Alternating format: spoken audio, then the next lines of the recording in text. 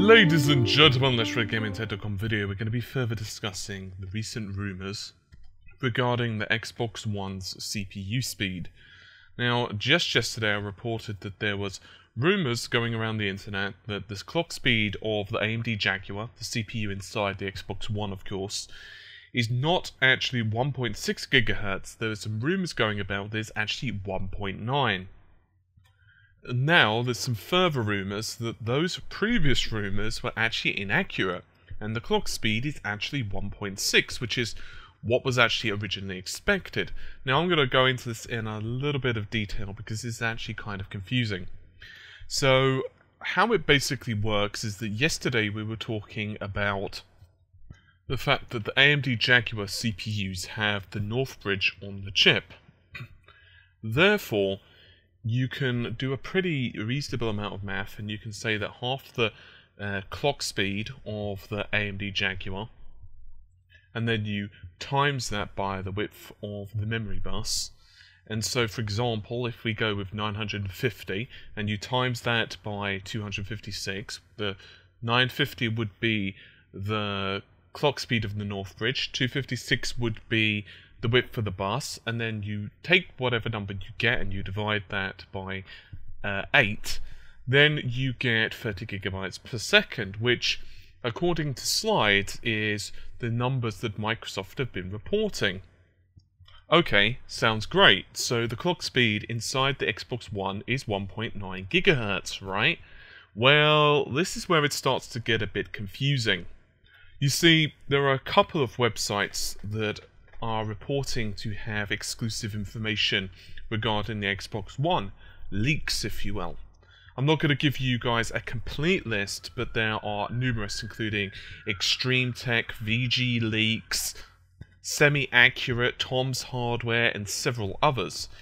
And to be honest with you, it's very difficult to start to understand what one's doing what because there are two sites that are starting to compete right now. I'm not going to uh, tell you which ones they are for professionalism's sake, but I'm pretty sure it's become pretty obvious by now. If not, a few minutes of Googling will give you the answers. Now, one says, now you remember that the reason we get the 30 gigabytes per second is because of the coherent memory bandwidth. We know that is tied in to the CPU's MMU. Now, one website, or a couple of websites actually, are reporting. Um, this is even including IGN, but I don't really trust them too much because of well, that's not very professional of me, but whatever. Um, see, that's what you get when you're like, you know, really focused. You don't really think about what you're saying. I shouldn't really say that, but I don't really trust them too well with tech. I trust them with games, but not so much with the tech. Um, but IGN and some other websites are reporting that the clock speed of the Xbox One is based on 1.9 gigahertz, and they're using this because of the coherent memory bandwidth. There are other websites which are reporting this is not true. There are other websites which are reporting that these numbers are not taking into account overhead. And the argument for this is that you can do pretty much exactly the same math that we've already gone through. Um, but this time you can put it to the ESRAM bus, and the ESRAM now then becomes 204.8, which is pretty much the speed of the ESRAM. So there you have it, two completely conflicting pieces of information. So which one is right? It's kind of up to you to decide. Personally, if I had to put my money on it, I would go with the fact that I don't think it's 1.9 gigahertz. That's a guess. The only reason I don't think it is is because there seems to be more evidence to show that it's not 1.9 gigahertz. Uh, the ESRAM clock speed is the one that seems the most damning. The reason, however, that I'm not 100% sure that this isn't the case is because a couple of websites are reporting that the coherent memory bandwidth is factoring in overhead. In other words, this is actual memory bandwidth. So I'm not really sure which one to go with. Um, one of the websites actually said uh, pretty much that they have more information from Microsoft but they're under NDA and they can't well, basically unveil some information because they are under the NDA. In other words, they spoke to the engineer. Um, this is me basically putting the words in their mouth, but this is pretty much the the top and bottom of it. They spoke to the engineers in Microsoft at whatever conference it was. I think it may have been the Hot Chips conference, which of course is a source of most of these rumors. They spoke to them, and then they said to them, "Well, here's a bunch of information," and they used that to start writing some guides, but after they basically gave them some information, they said, well, you can't actually say some of this stuff uh, because the console's not out and we are all under NDAs. And so the websites, a couple of them are saying, well, you know, it looks really good or it's very impressive, but we can't say more because we're under NDA.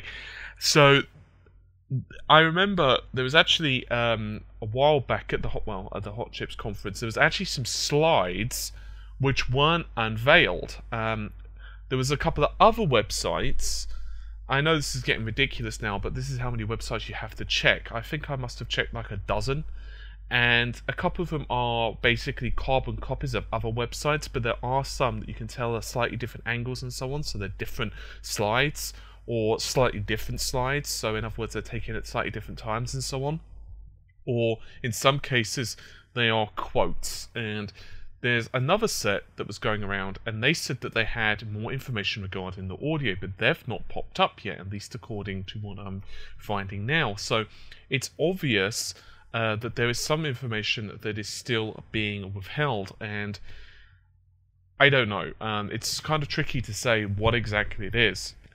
So there you have it, guys. I'm reporting all of the news. Obviously, I'm not showing favoritism. If there's a piece of news that comes out, I'll report it and then, you know, give you guys the maths behind it and then I'll do research and then try and debunk it or confirm it later on because that's the fair way to go. I prefer that method because if someone has a better idea or they've done something else, they've found something else, you guys can report it. And it just means that we're all on top of the latest news and it means that everyone's apprised of the latest information. It, in my opinion, that's a lot better than keeping people in the dark until there's a definite answer because there is no definite answer yet. Um, yeah, it there really isn't. So I'm just gonna clarify one more time in case you guys aren't familiar or don't didn't understand. Basically, the argument is that one side is saying that the coherent memory bandwidth um, is fine as is. In other words, they are saying that all of the memory bandwidth is accounted for and there are no overheads. Other websites are saying that the webs that the overheads are not being accounted for and therefore the numbers are wrong and therefore the clock speed of 1.9 gigahertz is wrong and therefore it's most likely to be 1.6 personally i am going with the fact that i personally believe right now uh, based on the evidence only that i think it's 1.6 gigahertz it's possible. It's faster. It's impossible to say, and I'll tell you why, because we don't know the final clock speeds of the silicon yet. In other words, for all we know, Microsoft could unveil that they miraculously increased the clock speed the last minute exactly the way they did with the GPU. It's pretty much impossible, although I would have thought they would have unveiled this by now. So, yeah. Uh, I'm hoping it's true. I'm hoping it is 1.9 gigahertz. I'm also hoping the same for the PlayStation 4. But I guess we'll just have to see. So you guys could do your own research on this. Um, I have a feeling it's going to be a debate war for a while now.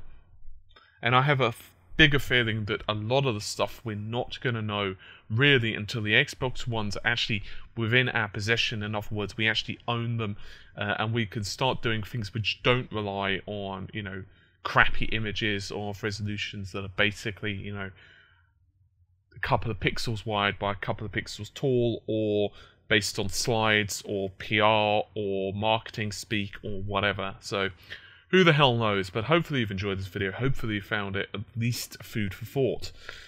Anyway, I'm going to get going. Bye for now. Take care.